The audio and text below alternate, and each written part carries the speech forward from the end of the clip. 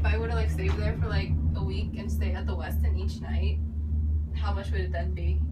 If I heard a night. This is like better. total, like with like trips and food and everything, This is better than the car. hotel and gas How for a week. Gas, like seven days or um And wait, ten days, like twelve days. 500 a days. night. Twelve days. 500 times times 12, 600.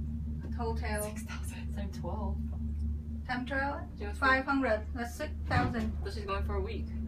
Oh yeah, I changed it. to Twelve days. Um, Wait, that's so stupid. Like stupid. 40,000. 10,000 middle. Ten thousand for hotel and food and I don't want to By die. herself. Even That's she- way too She has much. to buy food and transportation and all Oh, that's way too much. I'll just I say need to go get a taxi or something. Đi Japan được không? Go Uber. no, because I was like, remember, like I want to meet up with my internet friend. They said Canada.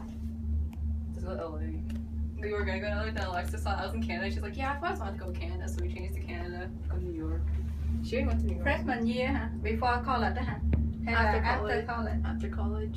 Would you let me go before college? No. See, that's why.